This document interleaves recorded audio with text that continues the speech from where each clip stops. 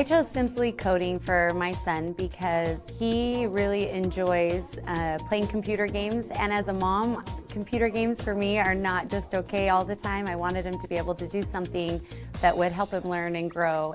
So welcome to video two of four. The question really is, is not should my child learn coding, but rather how can I best provide my child with that coding education? We have proven methods tested on thousands of kids. In fact, we got feedback from each of them along the way to help us develop our pathway. We will guide your child into learning these valuable coding skills for any future job, college preparation, or internship.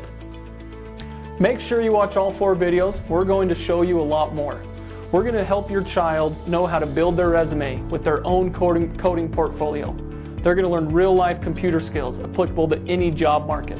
It's going to build their self esteem and their confidence. We're going to show you a view inside of our curriculum and the proven methods of this day to how to connect children to technology and teach them these valuable skills so they do not get left behind.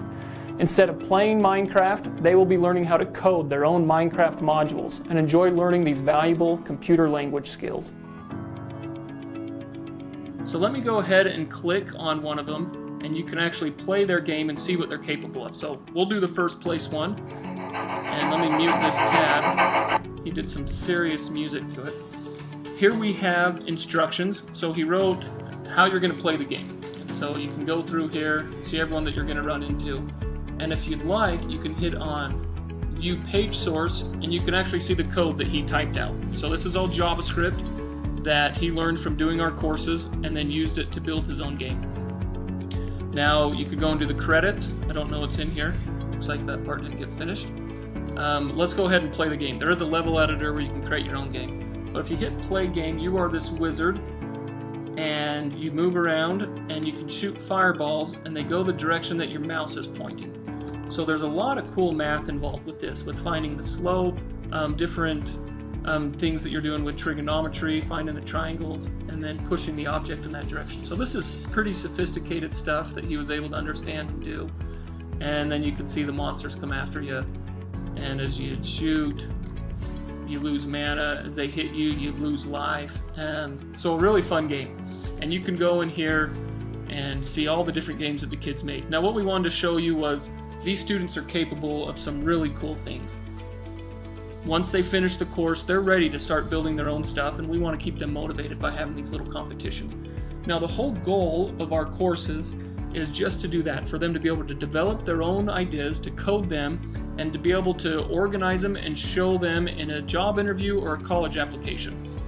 So as they're doing these things, we're having them build a portfolio. And here is a little example of a portfolio. We don't just do games, but we teach them how to build websites. And we kind of start with websites because we want them to be able to build a website being their portfolio. And we do use some games because it's a great medium for kids to understand and be able to translate computer logic into something that they're familiar with. So as your student goes through, he's going to have an opportunity to not just code what our lessons tell him to, but then expand and be creative and start coding his own things to become college and career ready. So opt in below and you'll get our video of our top proven methods and strategies that we've developed from feedback of thousands of kids to teach your child how to code and actually love it. And also as a reminder, our next video is coming out in two days and it's going to talk about how you can make one of the best decisions you'll ever make for your child and change their life forever. You'll be able to be proactive in your child's education. So opt in below. Thanks.